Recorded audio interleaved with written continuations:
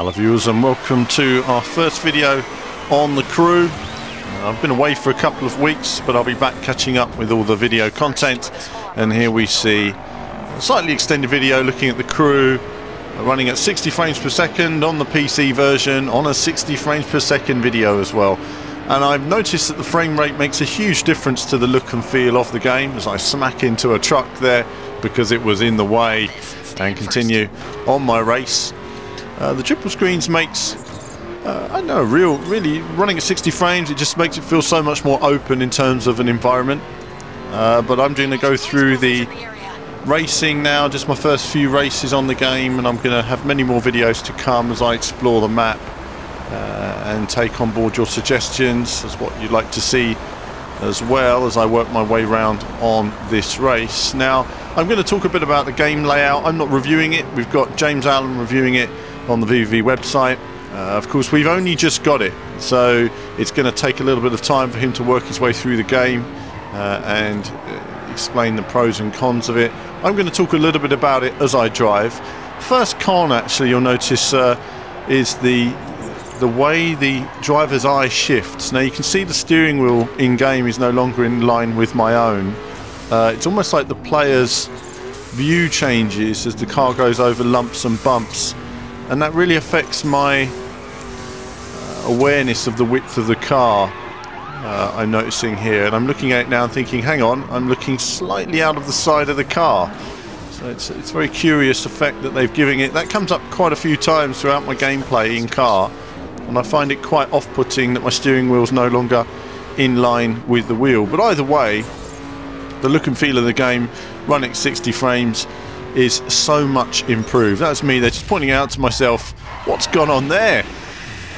Well, whatever that was about, I have no idea what the idea was behind that. I'm sure the developers had an idea, but uh, in practical terms, you can see there the steering wheel starts off in line with my own, and occasionally, depending on the car, depending on the lumps and bumps you go over, it's no longer there at the end of it. Now, also it's a perf spec, you'll see much improved speed here.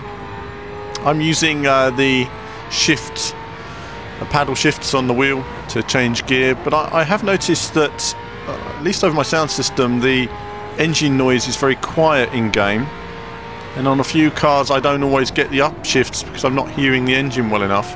And the engine doesn't have a separate section in the sound menu which I, I find quite strange. So you've got one option just for sound and effects uh, which means obviously you know you try to turn up your engine but then you get overly loud sound effects so you still can't hear your engine very well. So it's certainly uh, an unusual approach in that way as well. Music is turned off of course because of uh, issues with YouTube. Now you can see already my steering wheel has moved moves around a fair bit. If anyone knows how to lock that in position I will appreciate any advice. Maybe I'm the one getting it wrong there. I've just gone into the game uh, now the handling on this car is obviously very different. I know a lot, lot, of people talk about handling. The handling of the majority of muscle cars is very sloppy. I'm going to work my way through the game to find out if all the cars handle like this or some cars handle better than others. Certainly I've enjoyed the raid spec sort of off-road dirt vehicles. I'm quickly working my way through on this one. So, it's into that round. Look at that, lovely. Love a bit of Aston. Uh, the game is filled with challenges. Besides the story mode and these are all over the map so you can get points and points mean prizes essentially. So just working my way around here. I don't know any of this. I mean obviously you're seeing me driving a lot of this. I've done some of this on the early beta but I'm sure it was a slightly different route at the time.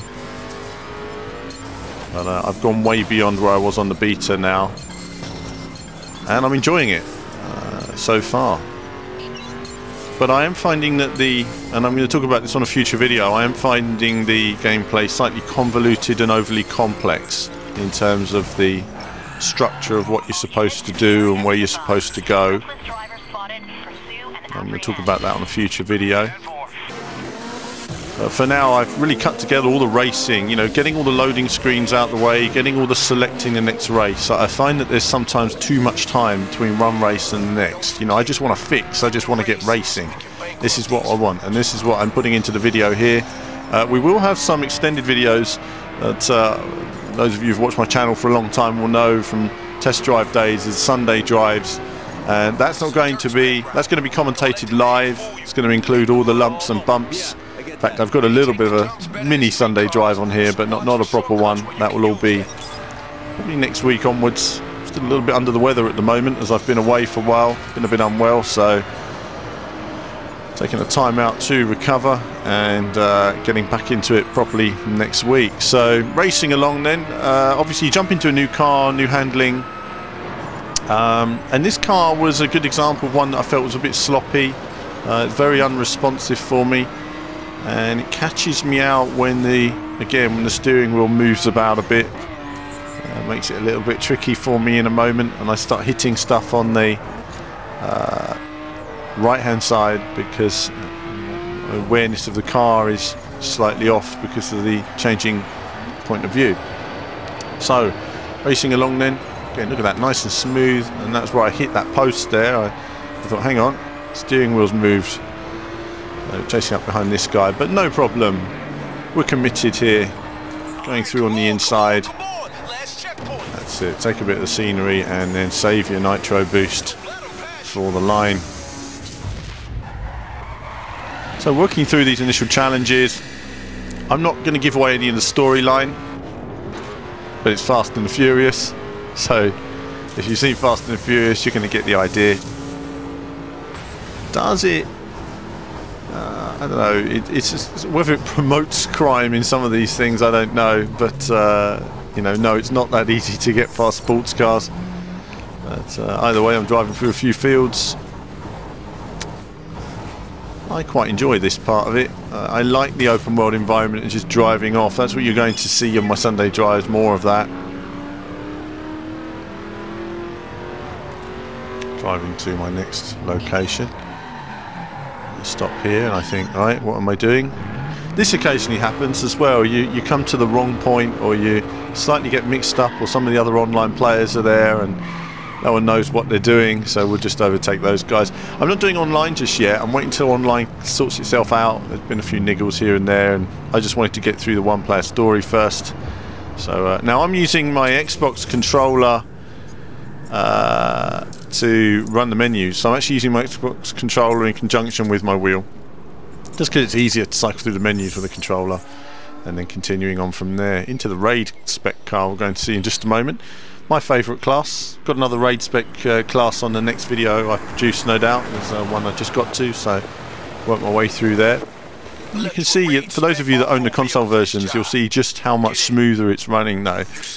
And this isn't even running on the highest graphic settings. Uh, when I get a PC upgrade, I'm going to run the whole thing on the highest settings, but it just looks a bit better as I just adjust my camera and away we go. Oh, that feels nice, doesn't it? You know, as soon as that triple screens hits in, opens that field of view, runs so smoothly. Fantastic. You know, it was it wasn't running. It was running at 30 frames on the triple screens at the trade shows. So, seeing it 60 frames for the first time on triple screens is, you know, it's a real difference. And I'm running it on high. Now, I'm running it on high. My PC probably can do ultra settings, but I wanted it to be rock solid 60 frames, no drops and that's what we've got here so I'd rather a bit more smoother frame rate just to keep it nice and smooth. Now this guy's a slippery fellow. I, have taken him out really quickly before now, but sometimes when you just miss him, uh, it's it can be quite a, a, challenge getting to him, and uh, you can slip about quite a bit. So but having said that, I didn't really want it to end. I was quite enjoying this section. This has been by far my favourite section of the game. I, in a way, this this raises another point for me. I wish there was a way in which you could say, "Hey, I want to do the raid raid spec version of the game. You know, I'd like to select the car class I want to drive. Why do I have to spend hours driving a car I'm not as interested in? I just want to upgrade to this now and just drive this all the time. Uh, if it was like this all the time, I, I'd be absolutely loving it. Uh, but you know that's that's part of the game structure. It's it's weird, isn't it? There's a, there's a few things I'm going to come across in the in the next videos. When I like upgrading a car, you get a car, you go to the upgrade shop, you can't buy any upgrades for it. Uh, it's like there's limitations on what you can do. So I'm closing up on, uh, and maybe I've got it completely wrong, but if I have got it completely wrong, that's just simply because it's not entirely clear to me. And uh, there's a few things that aren't here and there. But uh, either way, working way along. Look at the great feeling of speed you get from this as well. Really cool feeling of speed. And there's lots of stuff in these huge environments. I mean, let's not muck about. This is a massive map, loads of detail. Great to see. Water coming in there, no problem. Where's he gone? Where's he gone? Oh. I've lost him. Oh, he's gone past. He's gone past. Okay, I've got to get after him now. No mucking about now. I need to get him. The time is ticking down. And we're getting down to 30 seconds to go, Mark. So i know I've got to get one clean hit in, save up some nitro boost. And there it is. Boom. Taking him down. Out for the count. It's a shame we couldn't have the music in that section because it's got quite of a, a heavy soundtrack to those sections, which works really well with them and you kind of miss that in terms of atmosphere that you'll all be playing at home. But I'm back in my car again now, and uh, that's the end of that mission. now the roads uh, do get quite tricky and dangerous when you've got a lot of online players driving about. They are quite a reckless bunch, aren't we all? So I'm going to drive off um, on my way. Oh, got a little bit of a little bit of a lag there, and that's something else I'll point out. There is a bit of steering lag um, that some of you will probably have already noticed from the beginning of the video. Um, the in-game hands there and all that. Um, but I've just turned the game on and pressed start, and uh, we're going to go see how we get on. So, working our way now to a section to pick up one of our guys. And uh, then there'll be a bit of a getaway. And a getaway I'll make a right mess of the getaway you're about to see. Uh, I did it on the Xbox version in all of 30 seconds. Just drove off down the road really fast and got away. That was it. Uh, whereas on here uh, I make a bit of a meal of it but either way it's good fun. I like the cop chase stuff. We're going to our friend's place hammering it around these streets. I'm still learning the handling on this game, you know, but there is a little bit of delay and input lag and reaction there. I think the input lag issue is something they really need to tie up. It gives the handling a very sloppy feel uh, and it, it, means that you can't really confidently drive as well as you could and would if it, the car was right under you. So Now, uh, apologies for the lighting here. I should have had a bit more light on me. It would have brightened up the environment and the screen a bit more, but I'm always testing with this GoPro angle as to what works best for you, uh, the viewer, and yeah, just do something different. You know, everyone else is doing direct feed, and so I thought, hey, you know, I've got the rig, why not do something completely different? And it gives it a bit more of a, an atmosphere as a cop car goes through me, never mind. And away we go now pushing hard, getting away from the cops. Now all I did before was go in a straight line. I just pulled away from them with my nitro, turned a few corners at the end and, I, and they were gone. And this time on the PC version the cops are just on me, hitting me every opportunity. Damn. So uh, I'm like, wow, cops are way more aggressive on this version than they were for me on the Xbox for some reason. But I'm sure the game developers will tell me there's no difference, Alan. It's just your driving. Uh, probably true. Uh, so I'm thinking, right, let's get away from. Oh, he was right in the way, that guy.